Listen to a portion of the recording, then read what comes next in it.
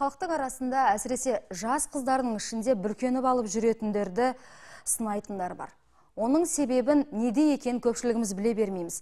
Яғни оның ары қарап бүркеншік киінген киімінің арасында терісінде жатқан бір сыр болуы мүмкін.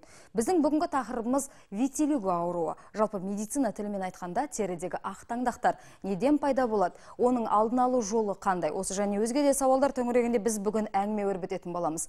Амансыздар ма ардақты әлеумет. Денсаулық хабары тікелей эфирде.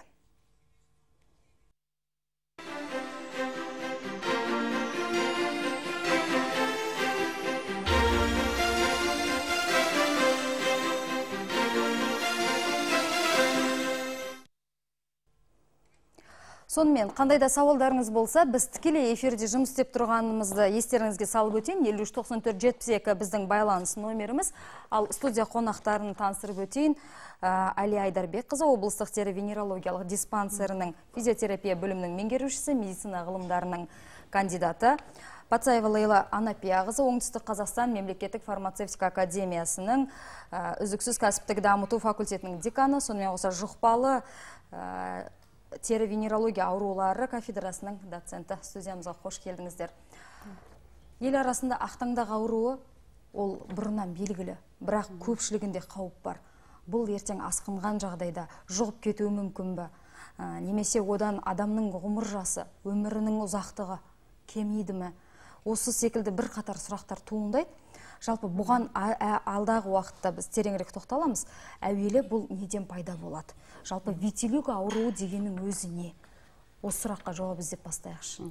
Витилиго ол латынша диагноз. Қазақша аударғанда ақтаңдақ ауру деп саналады. Ақтаңдақ ауру ол біріншіден жұқпалы емес.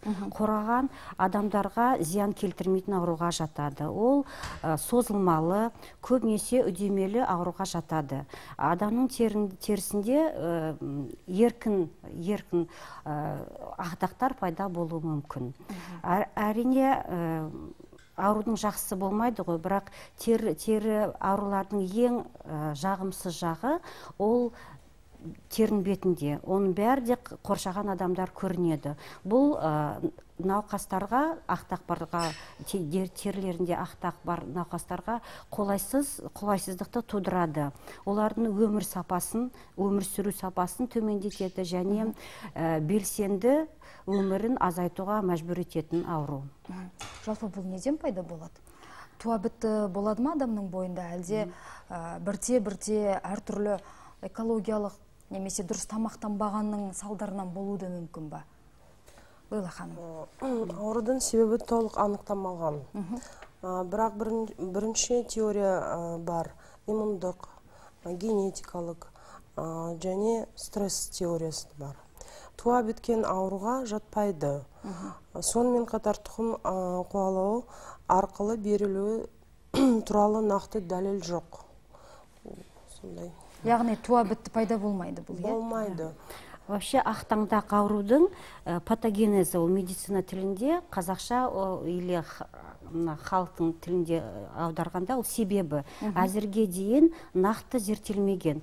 Бірақ көптеген ғылымдардың ойынша бұл аутоиммундық ауруға жатады. Аутоиммундық аурулар мына халық білетін аурулар көбінесе ол қант диабеті қалқанша безінің ауруы артриттер осы топқа ақтаңдақ ауруы немесе витилиго да жатады енді именно ақтаңдаққа келгенде сол адамдарда иммундық жүйесі пигмент тудыратын клеткаларды жояды. Ал ол белгісіз. Бірақ халықтың арасында витилигоны или ақтаңдақ тудыратын ауру көбінесе олар ойлайтын құрт аурудан болуы мүмкін бауру аурудан мүмкін ол дұрыс емес. Мысалы аскарида ауыр құрт ауруымен көбінесе оңтүстікте де көп кездесетін ауру. Жылы ылғалы климаты бар елдерде 90 процентке дейін 90 пайызға дейін кездесетін ауру. Бірақ олардың бәрінде де ақтаңдақ болмайды ғой. Содан орай провокация тудыратын жағдайлар ол біріншіден стресс күннің астында көп ұзақ уақыт болуы әсіресе көктемде терінің жаратылғаны механикалық болсын химикалық болсын құрт аурулары қалқанша без аурулары себеп болуы мүмкін. Али анапияқызы қазір режиссер бізге мына жақта арнайы суреттерді көрсетіп отыр иә?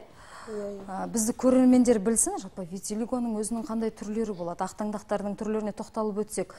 Бірінші суреттен бастап айтып өтсеңіз қандай түрлері бар негізі? Визуалды түрде ақ таңдақтың үш түрін айыруға болады. Сегментарлық ең төбеде ә, суретті. Сегментарлық емес мынау иә сегментарлы бөлік. сегментарлы в основном ең бірінші бетінде ақ ақ жерде шығады бетінде мұрында көзінде ә, ар жағында шығады ол. Яғни мынау самай маң- маң- маңдай самай тұстарынан көрінеді иә бұл. Инсоляция ке- инсоляция жерде көп жерде инсоляция сол жерде пайда болады именно ең басталады. Открытый да ашық жерде шығады Э, сонымен сегментарлық емес және аралас. Сегментарлық емес ол в основном э, э, арқада көкіректе шығады сонымен туралы бойынша шектеулі және кең таралған түрлер бар. Мына жерде акралды бөлік. Бұл қолдарда аяқтарда бөлет болатын иә мына беттегі қарап сегментарлы бөлік деп айттыңыз ғой жаңағы Иә, самайда пайда болатын. Осыны ә, теміреткі деген ауру бар иә сонымен ажыратып қалай ала аламыз? Екеуінің айырмашылығы бар ма? Теріде м, ақ басқа тері аурулары кездеседі. Мысалы ол ә, түрлі түсті теміретка ол саңырау құлақ аурулары ол жұқпалы ауру. Және қабыршақты теміретка латынша псориаз деп айтамыз. Осы осы ауруда ақ дақтар шығады әртүрлі басқа түрі дисхромия көп бар түрі. Ә, ең бірінші дақтар пайда болған кезінде ме- ә, міндетті түрде дерматолог дәрігерге қаралу керек.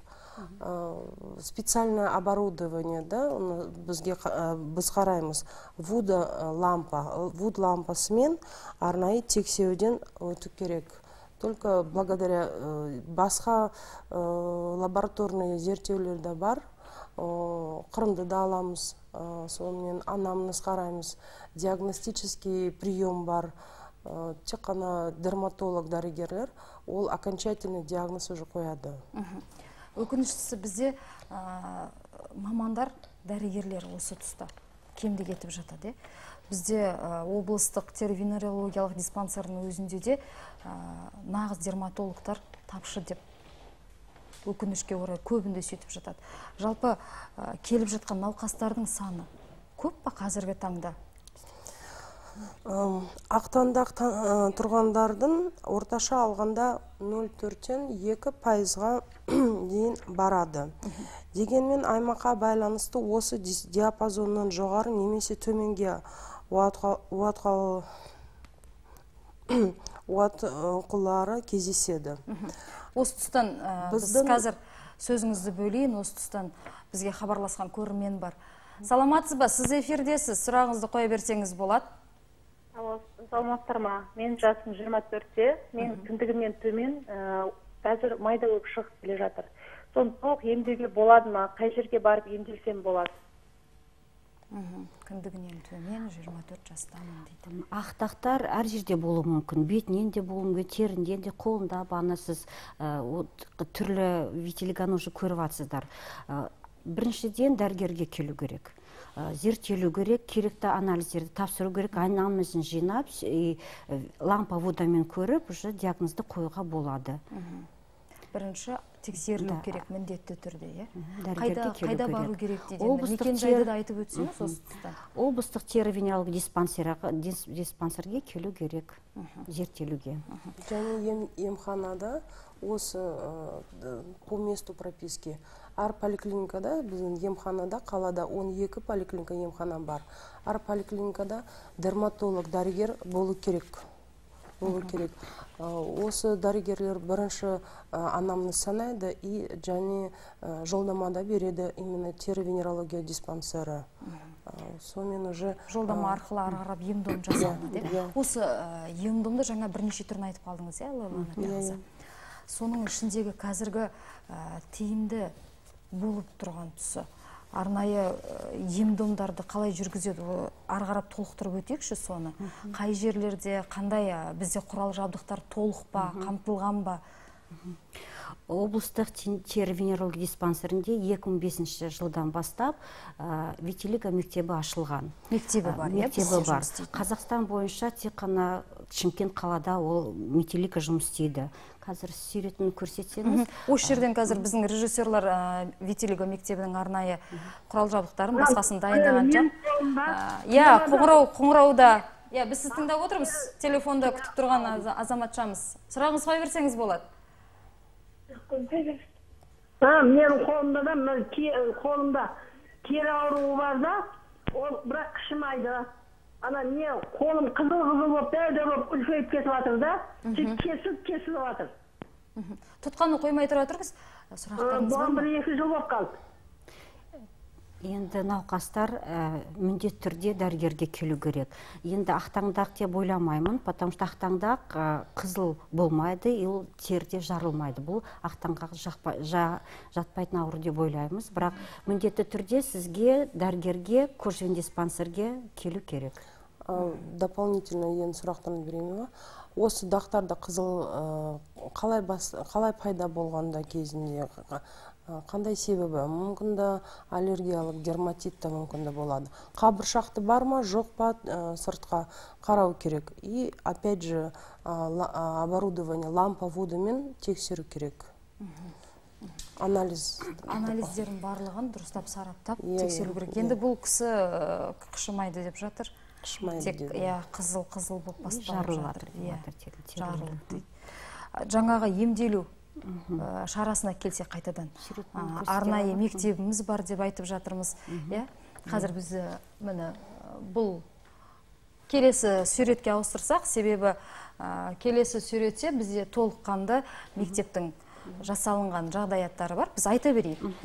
Қандай ол мекенжай бойынша сол нақты сол облыстық диспансердің өзінде ғой өзінде физиотерапия бөлімде қазіргі уақытта әр жыл әр жыл сайын наурыз айынан бастап шілде айына дейін мектеп мектепте лекциялар топты сабақтар пікірталас түрінде сабақтар өткізіледі. Әркім келіп тыңдай алады.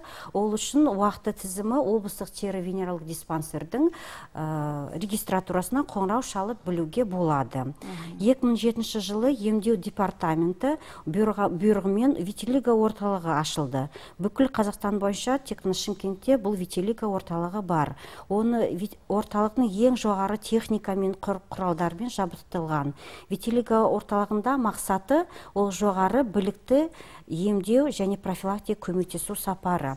Да көбінесе аппаратпен емдейміз. Аппарат көмектеспегенде ә, нәтижесі болмағанда хирургиялық әдісі ұсынылады.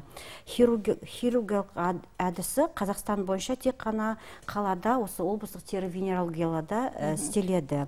Ә, біз қазір бұл мәселеде белсенді түрде жұмыс істеп жатырмыз. Жақсы нәтижелерге қол жеттік. Рахмет. Бізге тағы да хабарласқан көрермен бар.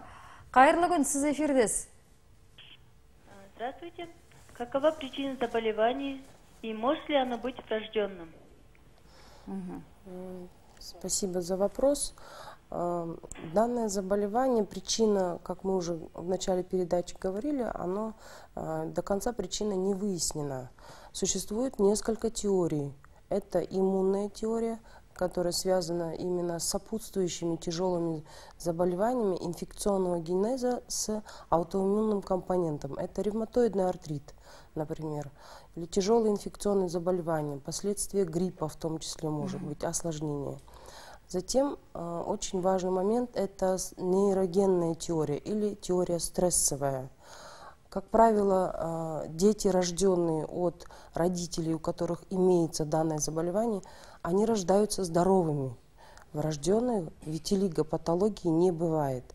Но по современным данным, если раньше считалось, что в возрасте 10 лет, 15 лет, в 30 лет могло проявиться заболевание, то сейчас, возможно, это связано с экологией, а, у детей до одного года появляются, может проявиться данное заболевание. Таким образом, четких признаков, четких доказательств, что заболевание врожденное и передастся по наследству на данный момент нет, но имеется предрасположенность и провоцирующие факторы. Наличие их необходимо а, предохранять, устранять, чтобы не было а, предрасполагающих факторов. Ш- да, шансы, да, шансы, то, что заболевание вообще не проявится по наследству, они имеются. Бізге хабарласқан тағы да көрерменіміз бар. Саламатсыз ба? Алло саламатсыз ба? Иә біз сізді тыңдауға әзірміз айта берсеңіз болады сұрағыңызды мен жаңа сұрайын деген мына псориаз деген ауру бар ғой тері ауруы. Мен сол туралы мына отырған врачтардан сұрайын деген едім. Не қолдануға болады не, жаз- не жағуға болады. Мына синоплан деген дәріні береді ал ол жаңағы жерде бізге онша действовать етіп жатқан жоқ та. Кожаныйға барғанда сондай дәрі жазып берді маз ол бізге онша действовать етпейді. Бір жерден шығады толық тұрған жерден шығады ғой көбінесе. Ол жер кетсе басқа жерінен қайтып шығады да. Сол ненің әсерінен болады екен. Қышыма ғой енді былай айтқанда. Түсінікті сұрақ сұрағыңыз бар ма көрерменімізге? Енді псориаз болады ауруды- әлі бізді күтіп тұрса керек. Псориаз ауру ол да созылмалы ауруға жатады. Оны бір креммен тем более гормональный креммен емделуге болмайды. Ол комплексті емдеу қажет. Комплексті емдеуге қажет болғанда тағы да басқа ауруларды іздеу керек. Ә, іш- ішек құры ауруы мүмкін қалқанша бездері ауруы мүмкін. Сол үшін бәрінде қосылып емделу керек. Стационарда бізде койкалар бар. Ә, направлениемен областной кожвендегі дис- диспансерге келіп стацион- стационарда емдеуге болады. Күндізгі стационарда бар комплексті ем алса одан кейін санаторный курортта қосылып емделсе ә, ол, ол пациенттің ремиссия- ремиссиясы созылады. Ремиссия дегеніміз ә, бұл аурудың белгілері жоғалып кету жағдайы. Яғни кешенді түрде ем қабылдау керек қой бұл кісілер иә?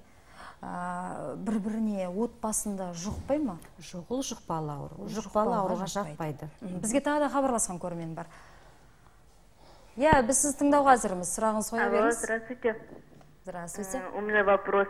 Нужно ли э, соблюдать специальную диету при данном заболевании? Да? Диета. Ну, вопрос питания, конечно, очень важен при э, лечении и наблюдении за пациентами, кожными в том числе.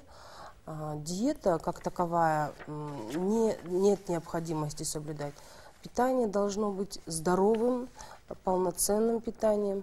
Но существует вот э, узбекистанская и китайские школы по изучению витилиго. А, По их рекомендациям необходимо ограничить именно продукты белые, молочные продукты. Это, конечно, очень интересная теория, но нельзя не прислушиваться, а, хотя доказательств, э, то, что эта диета будет эффективна, э, как таковых научных нет. яғни терісінде ақ таңдақтары бар немесе витилигомен ауыратындар олар а, ақ айран сүттерді пайдаланбау керек деген сөз бе сонда Наоборот, они считают, что... м, Я не совсем поняла. Нет, м, вообще западные школы, олар, э, они рекомендуют не, не ограничивать ничто. Должно быть здоровое питание Здоровое с исключением аллергических продуктов. Чем здоровее питание, тем здоров организм и иммунитет у него очень хороший. Уже же было сказано, что это аутоиммунное заболевание. Поэтому это здоровое питание с ограничением ал- аллергических продуктов. Фанта, кола, чипсы, там, где содержится очень много э, вредных ингредиентов, их надо исключить әр ә, хабарымызда кез келген аурудың ә, түпкілікті шығатын себептері бұл дұрыс тамақтанбағаннан деп жатамыз Можно иә? добавить? А, вот по поводу диеты, да, очень важно, и всегда это еще советская школа дерматологов, они утверждали, первое, что назначалось пациентам, это а, витаминотерапия, а и марганец, селен. Вот эти микроэлементы, они тоже каким-то образом влияют на данное заболевание, но механизм патогенез э, не до конца не выяснен, но эффект э, наблюдался именно витаминотерапия. Поэтому, опять же, лечение, ой, питание должно быть полноценным. толыққанды Иә, дұрыс толыққанды, тамақтанып да, үйрену иә. керек қайырлы күн сіз эфирдесіз біз сізді тыңдайық Алло. сұрағыңызды Здравствуйте. қоя беріңіз Ага. Алло, здравствуйте. Вот белые пятна на коже, это обязательно витилиго? Или может какое-то другое заболевание кожи? Ну, белые пятна при витилиго, они имеют особенность. А, При многих заболеваниях появляются белые пятна, или дисхромия, да, можно сказать. Во-первых, эти пятна, они абсолютно имеют четкие границы, а, не возвышаются, как таковое воспаление отсутствует. А при некоторых заболеваниях, как псориаз, эти пятна сопровождаются шелушением. А, Если аллергический дерматит, здесь э, пятна будут носить воспалительный характер и будут субъективные ощущения. Это то, что пациент сам ощущает, их будет беспокоить зуд И можно связать воз- с воздействием какого-то вещества, а, аллергена контактного, или на лекарственные препараты, или на продукты питания. Есть еще группа заболеваний, которые также сопровождаются появлением белых пятен. Э, Это э, кожно-заразная форма поверхностного грибкового заболевания или разноцветный лишай. түрлі түсті теміретка қазақша. Иә бізге тағы да хабарласқан көрермен бар. Уақытымыз тығыз болғандықтан ә, тезірек алып үлгерейік. сәлеметсіз ба? Мен мына докторға қояйын дедім сұрақ. Мархабат сұрағыңызды қоя беріңіз. Баламның оң қолында былай үлкен саусағының жанында кішкене а, қызыл точка шыққанда кетеді үстінен бассам қайтадан шығады. Үстіне немен басасыз сіз? Просто қолмен кішкене былай көремін и кетіп қалады қайтадан шығады. Оны екі точка. Мгм. арнайы дерматолог маманға барып көрсетпедіңіз ба? Жоқ көрсетпедім. Надо идти дерматологқа бару керек.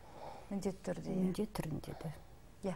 Біз жаңа ә, міндетті түрде қымбатты көрермен ә, кез келген күдік алған жағдайда теріңізден қызыл немесе ақ таңдақ пайда болған жағдайда кішкентай болсын мейлі орта мейлі үлкен болсын ең бірінші кезекте дәрігердің алдына барып кеңес алуға міндеттісіздер себебі оны кез келген адам ажырата алмайды.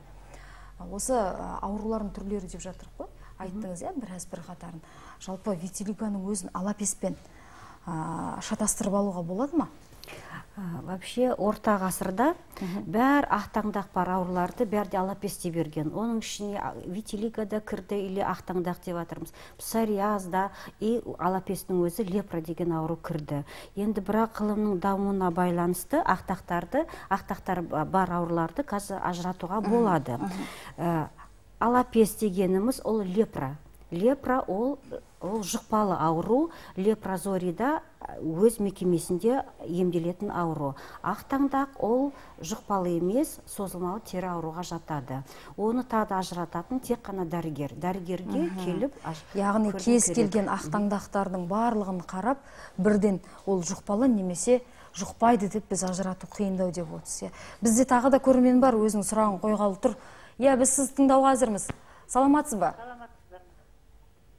Айта берсеңіз болады. Саламатсыздар ма? Саламатсыз. саламатсыздар ма? Эфирдесіз. Осы тері ауруына байланысты э, сұрақ қояйын деген едім. Айта қойыңыз. Екі екі тіземде ә, ақтаңдақ бар қышиды ол маған он он шақты жылдан көп болды. Ол сіздерге де ә, барып емделген бірақ одан кеткен жоқ. Ә, соны мына екі шынтағыма да енді шығып келе жатыр. Соны қалай кім қалай кімге барсам қалай емдетсем болады. Қазір жасыңыз нешеде? ол жұқпалы емес өйткені үйде ешкімге жұққан емес. Он жылдан асып кетті. Екі тіземде екі шынтағым енді пайда болып келе жатыр. Қышиды бірақ. Ақтаңдақ болып тұрады. Бұл қандай ауру екен? Қай жаққа барып емделемін алдын емделгем деді. Енді енді шынтағымнан шығып жатыр он жыл бұрын екі тіземде еді. Енді Енді шынтағымнан шығып жатыр с- енді мына көрермендердің сұрағына қарағанда бұл ақтаңдақ и- ауру болуы мүмкін. Сол үшін бағана айтылып кетті ғой біздің э, облыстық тері венерология диспансерде ә, витилиго орталығы бар витилиго мектебі бар. Сол үшін специалистке керіп көрсету керек. Э, қазіргі уақытта өте жақсы нәтижелер болып жатыр ең основной емі ол фототерапия. Фототерапия көместен- көмес- көмектеспеген жағдайда хирургиялық метод- методтерді қолдануға болады. Ол нәтиже алып келеді. Витилиго ауруын ә, тек қана біз айтпаймыз иә э, біздегі осы әлемге танымал дүние жүзіне танымал жұлдыздардың өзінде де витилигомен ауырған жұлдыздар бар. Соның ішінде а, майкл джексон бар Иә. тағы да басқалары да бар. Жалпы бұл қауіпті ма бұл аурудың өзі? Бұл ауру қауіпті емес. Ол адамды қышымайды адамды мазаламайды. Бірақ қорғаныш адамдар айт- бағана айтылып кетілді ғой да олардың бойында қорқыныш тудыратын ауру Ә, енді атақты белгілер майкл джексон алмазбен ә, безілдірген қол- қолғабы ол ақ таңдақтар жасыру үшін киілген. Амитах баччан көптеген адамдарды сүйікті үнді актері. Танымалы американ американдық топ моделі винни харлоу. Бұл модельдің фотосуреттері францияның басты көшелерінде ілінген. Витилиго қоршаған адамдарға зиян келтірмейді. Ол тек қана өз сол солмен ауырып жатқан адамға оның өмір тек ыңғайсыздық ыңғайсыздық туғызады ғой бұл жерде. иә. Ал оның өміріне ешқандай бір жасының қысқарып немесе ерте қайтыс болуына ешқандай оның ықпалы тимейді. Және бұл өте қауіпсіз деп айта қауіпсіздік ауру. Тұрақты түрде емін алып отыру керек па мұның? Емі қанша сіз уақытта бағана жүргізіледі? суреттерді байқасаңыз 100 процентке дейін қазіргі заманда жабуға болады. Ертерек келсе 100 процентке жабуға болады. Бізде ремиссия ә, ремиссия бір 11 жылға дейін ремиссия деген ә, сондай уже случайларымыз бар. Ә, ол үшін даже емделіп болған соң бәрі дақтар жабылған соң әр жыл сайын көктемде келіп профилактический емді алып тұру керек. Асқынатын кездері қай уақыт? Асқынатын кездері ол көктем. Сол үшін көктемде ең э, міндетті түрде семьясында біреуде ақтақтар пайда болса иммундық басқа аурулар пайда болса бағана олар айтылып кетті. Сахарный диабет болсын ә, ерте шаш ағару ерте шаш түсу ә, қалқанша безінің ауруы жақын туысқандарында арасында сондай аурулар болса көктемде міндетті түрде терінің ә, күннен сақтау керек. Нақты дәл осы аурумен а, ауырмау үшін немесе шалдыққан жағдайда ары қарап дұрыс күтімін жасау үшін қандай кеңес берер едіңіздер? Ең біріншіден көктемде әсіресе күнде күнде терісін ашық көп жүруге болмайды. Күннің астында көп уақыт болуға болмайды. Қазіргі заманда біз қазір теңізге барады өзенге барады үйлерде ашық бассейндер бар тал түсте пайдалануға болмайды. Оның э, э, тек қана сағат онға дейін азанда или сағат алтыдан кейін кешке сол пайдалануға болады. Тұқым қуаламайды дедіңіз. Тұқым анализді істегенде э, 17-10 процент адамдарда ең жақын туысқандарында бұл ауру бар. Бірақ бәрінен де тұқым қуалай- қуалайды деп айтуға болмайды. Рахмет. Лайла ханым. Иә. А, бүгінгі келіп эфирде кеңестеріңіз бергеніңізге алғыс білдірем. Алдағы уақытта да а, тері аурулары өте көп тек қана витилигамен шектелмейміз. Ары қарап қазіргі таңда арнайы операция түрлері де дамып отыр. Сондықтан біздің қымбатты көрермендер а, бүгінгі эфирден көріп отырған болса міндетті түрде дәрігерге барып қаралуды а, әдетке өздеріне міндет етіп санап алса құба құп деген ойдамын. Иә қымбатты телекөрермен а, бүгінгі біздің тақырыбымыз әрине бұл жарты сағат уақытта толыққанды ашылды деп айта алмаймыз. Бірақ мүмкіндігінше сіздерге ақпаратты анық бере алдық деген ойдамыз. Келесі эфирде кездескенше ауырмаңыздар.